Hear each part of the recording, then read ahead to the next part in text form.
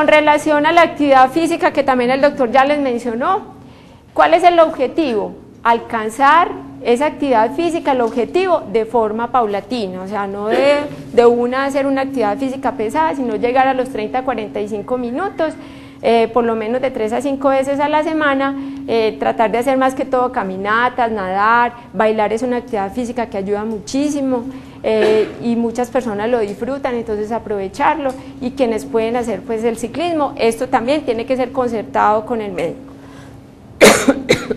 bueno.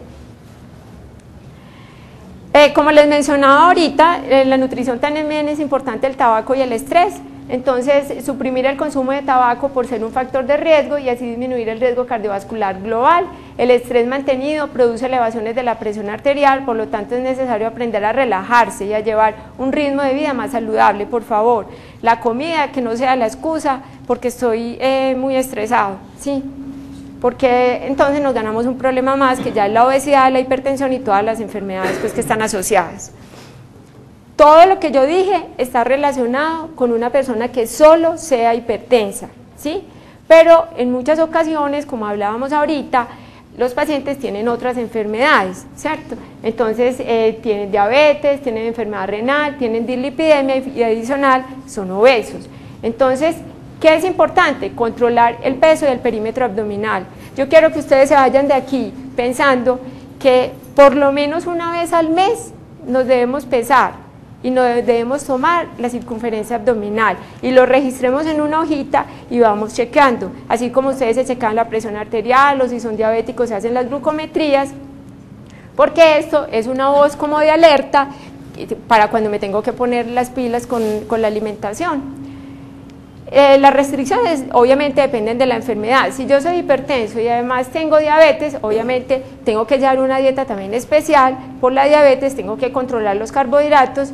Eh, dependiendo del tipo de insulina también tengo que manejar otras restricciones. Y si tengo enfermedad renal, ahí de pronto no puedo llevar una dieta rica en potasio, porque a veces cuando el riñón no funciona bien, tampoco me está eliminando bien el potasio. Entonces, en ese caso, no podría tener una ingesta alta de potasio, como les dije ahora. Eh, la idea es que la alimentación sea adecuada y equilibrada y también lo que les decía, individual. Cada uno tiene unas necesidades nutricionales diferentes, dependiendo de la edad, del sexo, de la actividad física que realicemos. ¿sí? Bueno.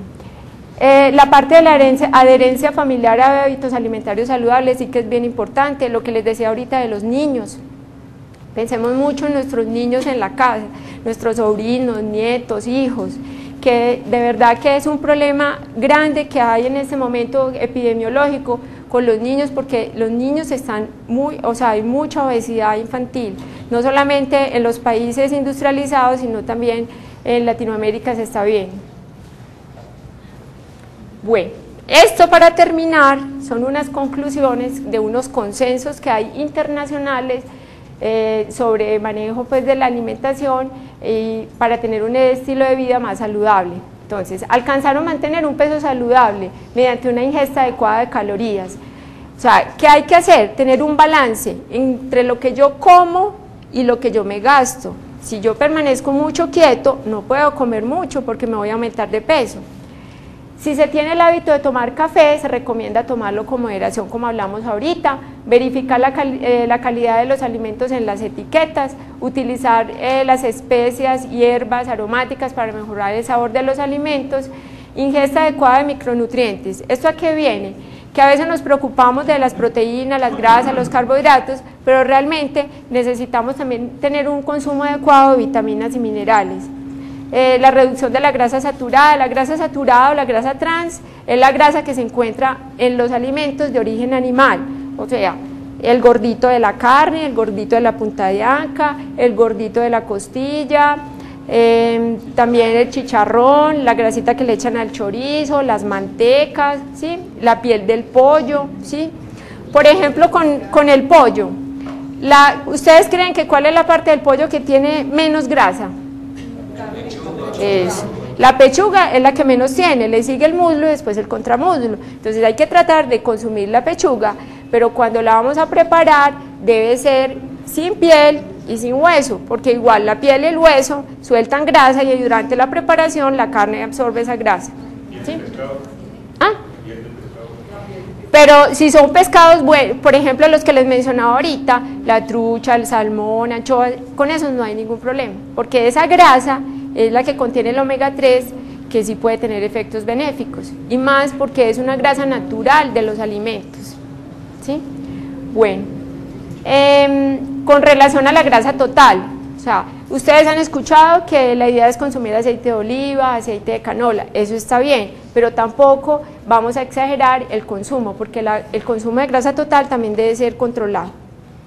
Bueno, eh, obviamente si hay exceso de peso, dulces y bebidas azucaradas, muchas veces nos aumentamos de peso, es porque nos tomamos todos los cafecitos, las aromáticas con azúcar, eh, los jugos son con azúcar, eh, gaseosas con azúcar. A mí me ha tocado hacerle la anamnesis alimentaria a algunos pacientes y no comen mucho, toman mucho líquido, pero todos los líquidos son azucarados. Entonces eso aumenta las calorías y nos lleva a aumentar de peso.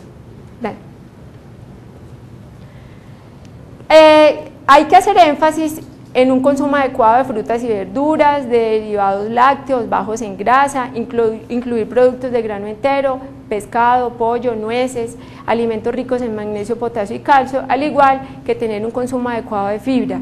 Ustedes saben que la fibra tiene también una función muy importante en el organismo y también está relacionada con un consumo adecuado de frutas y verduras. Bueno, entonces yo quisiera preguntar, que ustedes se preguntaran ¿Cuántas frutas y verduras consumen diariamente? Más o menos. Tres y cuatro. Y hay algunos que no comen. Bueno. ¿Cuáles son los que tienen ¿Ah?